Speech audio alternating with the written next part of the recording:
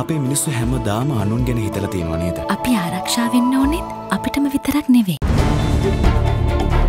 අපවත් වී වදාළ පූජ්‍ය ගංගොඩවිල සෝමහිමියන්ගේ දාහත්වනි ගුණානුස්මරණ නිමිත කොටගෙන මහර්ගම සිරි වජිරඥාන ධර්මායතනයේදී සංඝ සතු දානමය පුණ්‍ය කර්මයක් අද පැවැත්වුණා.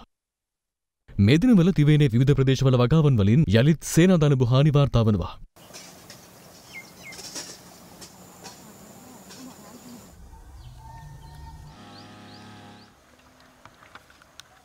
ඉදිරි සතිය තුළදී සේනා මැඩීමට වෛරසයක් හඳුන්වාදීමට හැකිවනු ඇති බව නියෝජ්‍ය කෘෂිකර්මාධ්‍යක්ෂ අනුර විජයතුංග මහතා පවසනවා.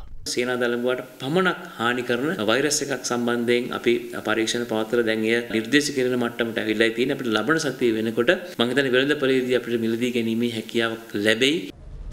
හැටන් නගරේ මාර්ගය අසල ගමන් කරමින් සිරි පුද්ගලයෙකු කැබ්‍රාතික ගැටි අනතුරකට ලක්ව තිබෙනවා. අද පෙරවරුවේ සිදු වූ අනතුර අසල සවිකර තිබූ ආරක්ෂක කැමරාවක මෙලෙස සටහන්ව තිබුණා.